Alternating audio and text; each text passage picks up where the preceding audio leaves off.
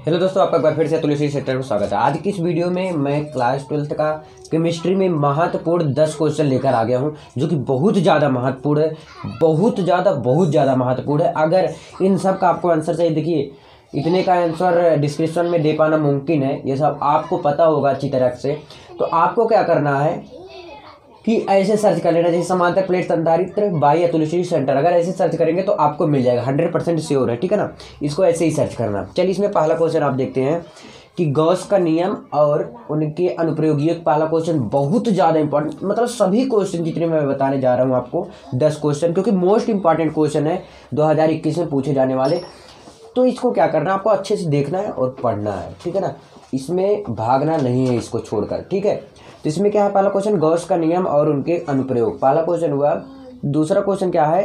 Hundred percent chances है ये वाला जो क्वेश्चन मैं बता रहा हूँ। और इससे पहले मैं बता दूँ, इसी पे नहीं, मैं लगातार क्लास टेंथ और ट्वेल्थ की इंपॉर्टेंट सीरीज़ स्टार्ट कर दिया हूँ। यदि आप चैनल पर फ़र्स्ट है तो प्लीज़ चैनल को सब्सक्राइब करके बेल आइकन प्रेस करें, क्योंकि मैं यहाँ पर टाइम वेस्ट नहीं करना चाहता। चलिए स्टार्ट करता हूँ। पहला क्वेश्चन क्या है गौस का नियम और उनके अनुप्रयोग। दूसरा क्या है, वैद्युत द्युध्रुव इसको भी क्लियर कर लेना कि वैद्युत द्युध्रुव होता क्या है और वैद्युत द्युध्रुव आघूर्ण क्या होता है, बता रखा हूँ। ऐसे सर्च करेंगे कि वैद्युत द्युध्रुव बाई अतुल श्री सेंटर है ना, आ जाएगा। तो वैद्युत द्युध्रुव की व्यापक स्थिति के कारण वैद्युत विभवान विभव। तीसरा क्वेश्चन क्या है? समांतर प्लेट संधारित्र। चौथा क्वेश्चन क्या आ जाता है आपका? धारा तथा अनुगमन वेग में संबंध। बहुत ज़्यादा इंपॉर्टेंट है। ठीक है? इसकी सहायता से ओम का नियम का निगमन कीजिए। तो इसकी सहायता से ओम के नियम का निगमन भी करने के लिए जाता है और धारा और अनुगमन वेग में भी संबंध पूछता है। ठीक है ना? इतना क्लियर हुआ? अगला है एक आपका एकल बिंदु आवेश के कारण वैद्युत विभव। किसके कारण? एकल बिंदु आवेश के कारण वैद्युत विभव। अगला क्वेश्चन क्या आपका कहता है? वैद्युत स्थिति ऊर्जा। वैद्युत स्थिति ऊर्जा आपका बहुत ज़्यादा इंपॉर्टेंट है। ठीक है ना? ये क्लियर हुआ यहाँ तक? ठीक, यहाँ तक क्लियर हुआ आपका? क्या वैद्युत स्थिति ऊर्जा छठा क्वेश्चन था, सातवां क्वेश्चन क्या है आपका?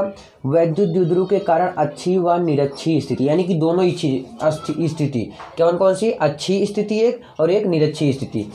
किसी एक बिंदु पर वैद्युत क्षेत्र की तीव्रता का व्यंजक प्राप्त कीजिए। तो भैया प्राप्त कर लेना। अगर नहीं आएगा तो आप सर्च करिएगा, जैसे मैं बता रखा हूँ ना टाइम ना वेस्ट करते हुए आठवां क्वेश्चन में मैं चलता हूँ।